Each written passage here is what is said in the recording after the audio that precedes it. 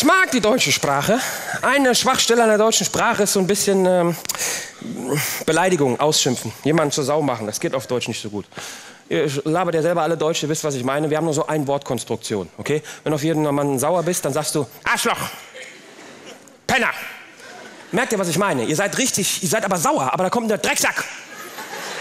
Penner hatten wir schon, ja, ich weiß. Ein Wort, Schluss. Ein Wort, Schluss. Ein Wort, Schluss. Ein Wort, Schluss. Und du bist noch richtig sauer, du kannst richtig loslegen, immer die ganze Zeit. Am liebsten möchte die ganze Zeit labern. Da empfehle ich die arabische Sprache. Beste Sprache zum jemanden ausschimpfen, zum Beleidigen. Die beste, wo gibt.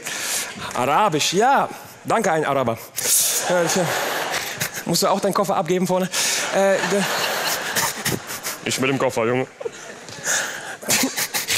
Der Punkt, die Araber haben jetzt nicht unbedingt viel mehr Wörter als die Deutschen. Ich sage ja, die Deutschen haben eigentlich die meisten Wörter meiner Meinung nach. Und ähm, ein großer Unterschied bei den Arabern ist, dass sie nicht jetzt Arschloch, Penner, Drecksack sagen, sondern meistens Tiernamen benutzen. Esel, Kuh, Schwein, Hund. Hund ist auch gut. Die sagen nicht Hund, du Schwein, du Esel. Die sagen, ein ganz einfacher Trick, du Sohn eines Esels. Die beziehen gleich die ganze Familie mit ein. Hier, die, das ist der Trick. Der ganze Trick bei den Arabern ist zu sagen, du Sohn eines Esels. Aber da hört es nicht auf, sondern erklärt dir auch, wer dein Vater war. Und dein Vater, Vater von dem Vater, von der Großvater. Und da geht es die ganze Zeit so weiter. Und dann sind das keine Beleidigungen mehr, das sind ganze Familienstammbäume. Das dauert eine halbe Stunde, bis er dich aufgeklärt hat. Wirklich, ein Araber hat mich mal zur Sau gemacht. Also auf Deutsch, du Sohn eines Esels. Das hat gebumst, eine andere Esel. Wurde gebumst von ein Schwein. Und ein Schaf hat euch gebumst. Und die ganze Familie von Kamele gebumst. Und die Hunde haben gebumst.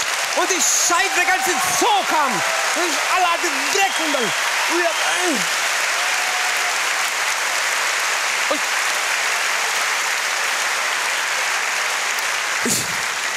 Ich stand vor dem Typen, stopp, ich komme nicht hinterher. Ich bin welches Schaf? Ich wurde von wem gebumst? Nochmal. Der hat mich original damals 20 Minuten zur Sau gemacht. Ich kann nicht mehr, ich muss nach Hause. Ich bin noch nicht fertig.